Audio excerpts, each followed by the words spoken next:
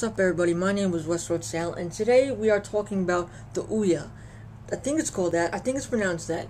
It's the new system that digitally digitally gives you games on your TV. It's an Android based little device that you hook up to your TV and streams of games of emulators come to your TV. Now, when I look at Ouya, the first thing that I remember is a device that came out a couple of years ago. The OnLive system. The OnLive system is a little box just like the Ouya with a controller that delivered games to your TV. Now, these two things are very similar in design and features. The only thing is, uh, in my personal opinion, OnLive has much better games. Plus, the OnLive and the Ouya are the same price wait a minute. The OnLive has uh, has recent games. They have Sleeping Dogs, The Witcher 2, Darksiders 2, Darkness 2, Assassin's Creed Revelations. They stopped they stopped putting very, quite like really new games to it because they don't have much support anymore because of the Ouya. But if you compare the game library, uh, OnLive is better because when you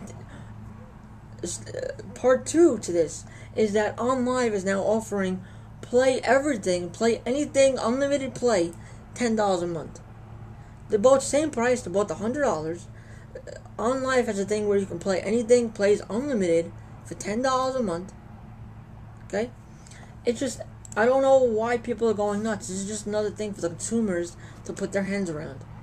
And plus, it came to the it came to the came to the stores, and it, it, there's a host of problems the, there's Kickstarters. People are going nuts about it. It's probably been on Joystiq. It's probably been on Kotaku.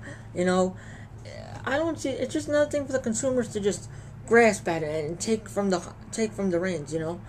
So it's been my opinion. I think the Ouya is very similar to the OnLive. The OnLive possibly be better because aside from a, th- a few 3D games that that have already been released on the PC and have been doing mediocre, I don't see anything uh, revolutionary about Ouya. I really don't. I think OnLive is much better, and it just OnLive went under the radar. So is Ouya.